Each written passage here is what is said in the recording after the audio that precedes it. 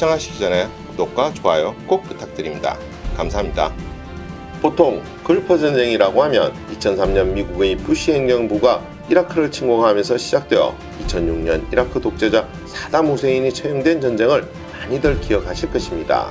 이는 보통 2차 걸프 전쟁 또는 이라크 자유작전이라고 불린 전쟁이며 오늘의 이야기는 이보다 앞서 이라크의 쿠웨이트 침공으로 발발한 제1차 걸프 전쟁입니다. 제1차 걸프 전쟁 또는 사막의 폭풍 작전이라 불린 이 전쟁의 계기는 1990년 이라크의 쿠웨이트 침공입니다.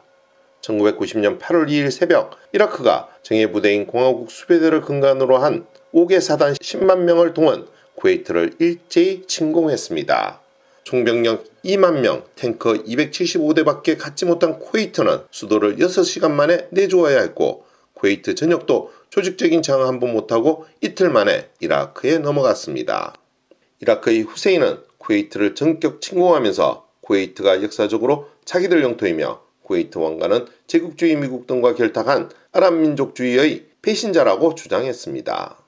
사실 쿠웨이트는 이라크에 속한 작은 토착 부족의 영토였으나 석유 매장량에 눈독을 들인 영국이 이라크로부터 강제 분할하여 만들어진 나라입니다. 그리고 이란 이라크 전쟁 중 쿠웨이트는 이라크와 공유된 원유 매장지를 개발하였는데 이를 통해 이라크를 자극한 것도 사실입니다.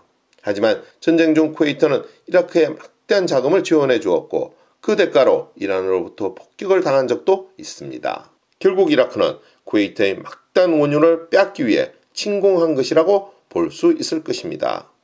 이라크의 불법적인 침략에 대해 유엔 안보리는 즉각적이고 무조건적인 철수를 요구하는 결의안과 이라크에 대한 경제 제재안을 결의했으나 오히려 이라크는 8월 28일 쿠웨이트를 이라크의 19번째 주로 통합한다는 발표를 합니다.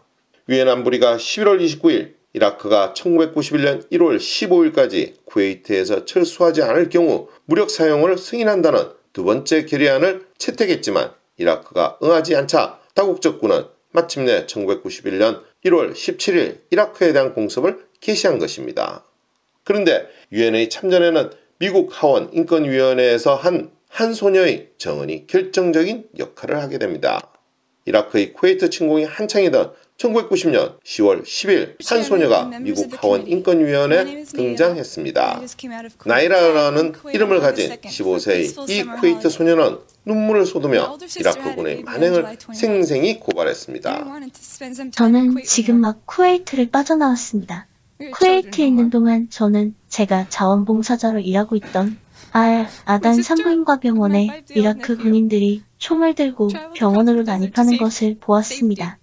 그들은 인큐베이터 안에 있던 미숙아들을 꺼내 병원 바닥에 내던진 뒤 인큐베이터를 가져갔습니다. 아무런 보호 없이 차가운 바닥에 누워있던 갓난 아이들은 죽어가기 시작했습니다. 저는 너무나 무서웠습니다. 저는 이 아이들처럼 미숙아로 태어난 제 조카도 이렇게 죽어가고 있을지 모른다는 생각에 몸이 부들부들 떨렸습니다. 이른바 인큐베이터 학살 사건입니다. 소녀의 목격담이 전해지자 전 세계 여론이 들끓었습니다. 미국 국민은 물론 상하원 의원들도 공분했습니다. 이라크 공격에 부정적이었던 많은 의원이 찬성으로 돌아섰습니다. 결국 미 상원은 52대 47로 이라크 공습을 승인했고 11월 29일 유엔 역시 이라크에 대한 무력 사용을 허용하게 된 것입니다. 1991년 1월 12일 유엔이 준 시한을 사흘 앞두고 이라크와 외교적 협상이 결렬되자 미 하원은 250대 183으로 이라크에 대한 군사력 사용을 지지하는 안을 통과시켰습니다. 1월 15일 기한이 지나자 미군 53만 9천 명과 미군 외 연합군 27만여 명이 클프에 집결했습니다. 2차 대전 이후 최대 규모의 파병이었습니다.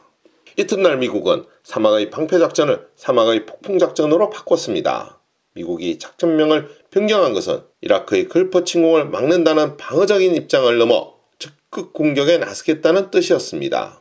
1991년 1월 17일 새벽 3시 미국 주도의 33개국의 타국적 군은 이라크에 대한 대규모 공습으로 전쟁을 시작합니다. 그리고 1991년 2월 28일 이라크의 쿠웨이트 침공으로 야기된 글프 전쟁이 이라크의 사실상 완전 항복으로 막을 내렸습니다. 다국적 군의 계속된 폭격에 전 국토가 초토화된 이라크는 유엔 안보리의 결혼안을 수용한다는 사실상의 항복을 선언한 것입니다.